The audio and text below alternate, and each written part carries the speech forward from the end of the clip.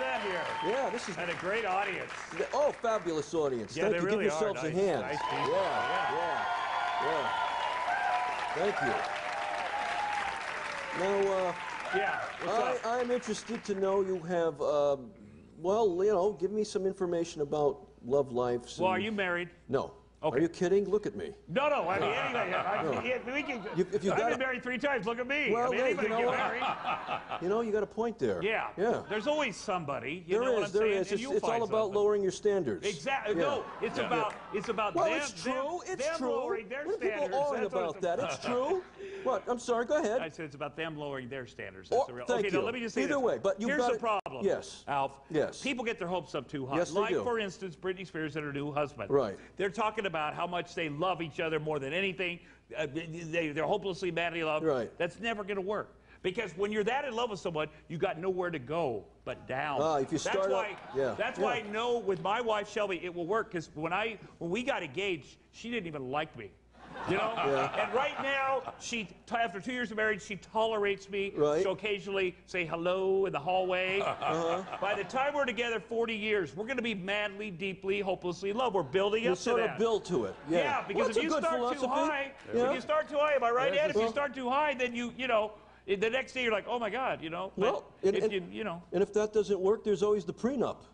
Sign I didn't little- have one. You know why? You know why? What? Because I didn't have one in my first marriage. It would have been right for me to ask How somebody many else to do one. times do you need to make the same mistake? You That see, is- those Ed, who do not Yeah. learn by history It- are that is condemned true. to keep reliving it, man. That's What's the true. matter with you? You're too nice of a It's guy. a That's sign what that's of all good about. faith. It's a sign of good faith. Yeah, you know. yeah, I guess. I'm going to die alone and penniless. I know it, so It's- I might as well, you know. It's not good going into a relationship with a lawyer. It, it really Yeah, isn't. No, no. It really isn't. I've Said that many times. It's like saying, I really love you, you lion. Yeah, sign here. Yeah. Now your show, I love your show. The best damn sports show, period. Can I say that on this Well, network? you just did. Oh, boy. Yeah. Uh, it's, It's a lot of fun. It gets pretty crazy, doesn't it? yeah, are you, well, you should come down there Sometime. I would like to. I We'd would love like to have to. you. What What do you remember off the top of your head as a very crazy moment? Well, there's a lot of crazy moments because we get a lot of these athletes that come on and do Yeah. fun stuff. Uh, a couple weeks ago, we had uh, Alec Baldwin was fun because Uh-huh. he did an impression of me. The interview changed all of a sudden, and he became me, you know, an exaggerated version of me. And then I I answered as him. He was promoting a movie, and I knew a little bit about it. That was fun. Does that make any sense whatsoever? You know, you probably had to be there. no, I mean, you know, like Yeah. you get the guys like Shaq and the regular guys Yeah. that come on, and it's it's a fun. Well, you've you got a you've got an exciting set.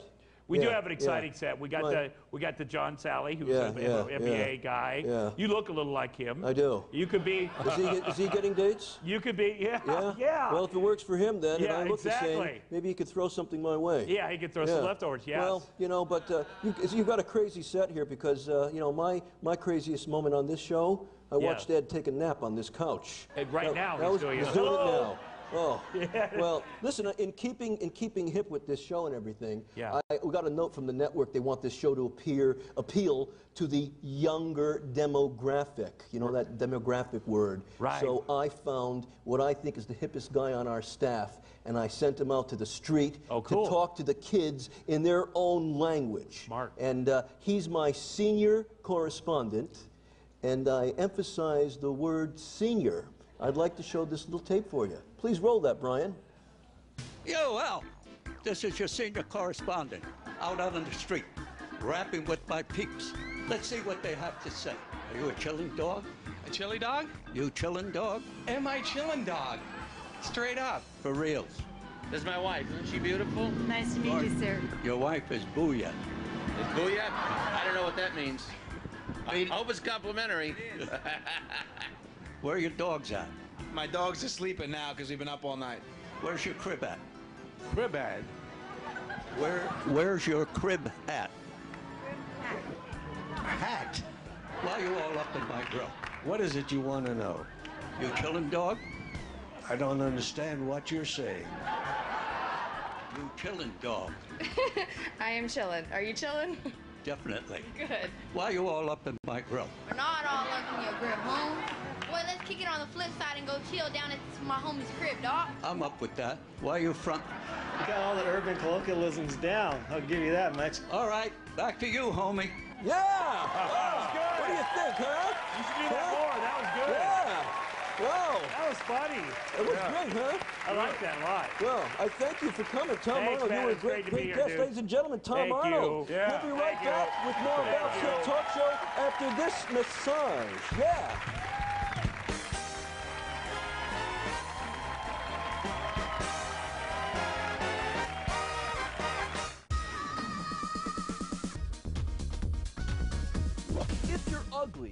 And you know who you are, try to wear something that draws attention away from your face. Maybe a bag. It's easier to remove vomit after it's hardened.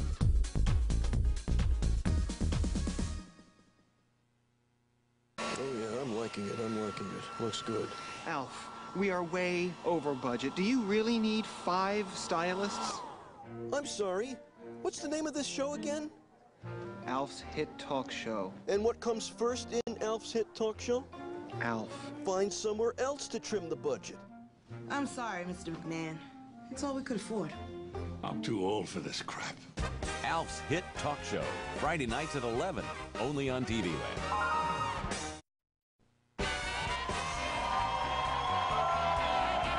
Well, just, uh, just time for a little shameless plug before we go on. I want you to know that the Alf Season 1 is now available on DVD from Lionsgate. Okay, they paid me to say that, and I'm out of here. All right, now, now, I don't, I don't know if this is a put on or not, and you're gonna, let, you're gonna, you're gonna verify this, Tom, because Ed has discovered this guy uh, from, uh, from Florida who's got a talking dog. Right. Is that true, Ed? Wow. It, the dog talks, yeah. For Yeah, real. No, yeah, Really, not- I it's was not doing that- I was doing an Alpo commercial. The dog came over, ate some of the food, screamed and yelled. Was it was like ecstasy. I never heard anything like It's- it from a it's dog. Dogs should not do ecstasy. No, I no, just no. want That's, that's right now. probably why. That's bad. That's probably why it was screaming and yelling.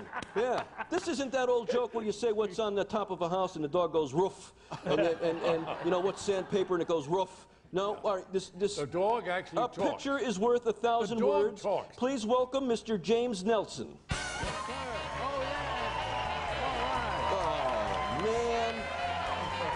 Oh,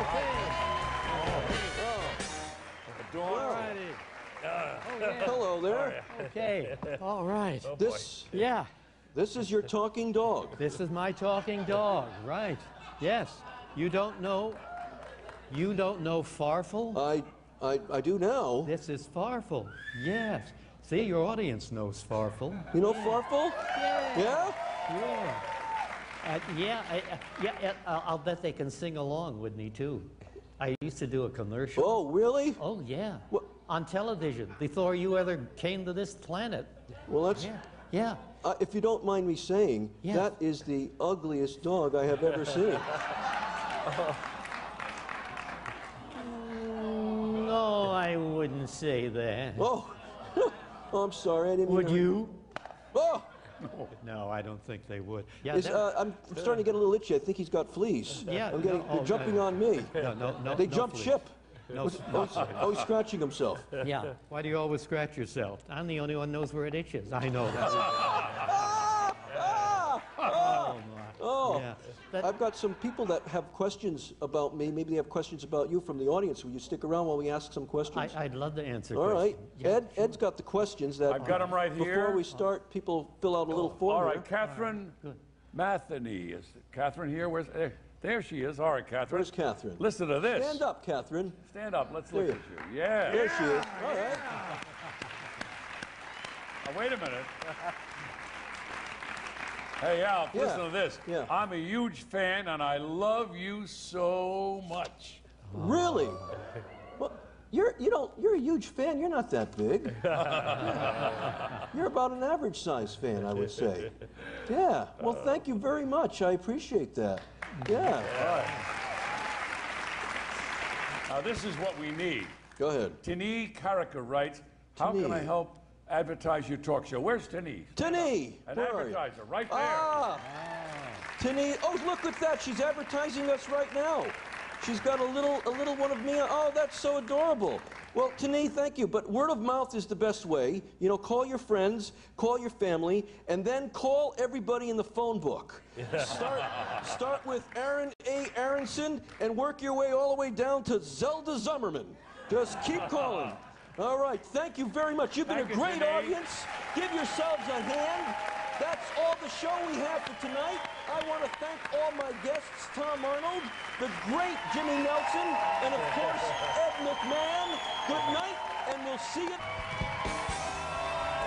Oh, shake those fleas off. Shake those fleas off.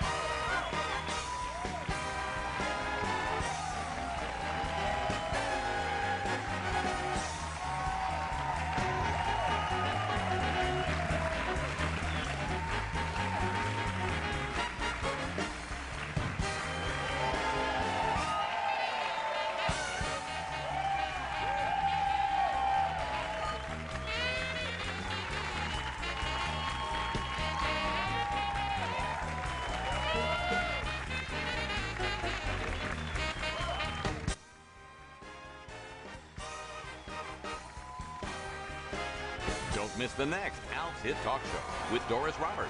I'm going to put my hands in cement on the Walk of Fame in the Bronx because that's where I came from. Usually in the Bronx, people get their feet put in cement. Alf's Hit Talk Show next.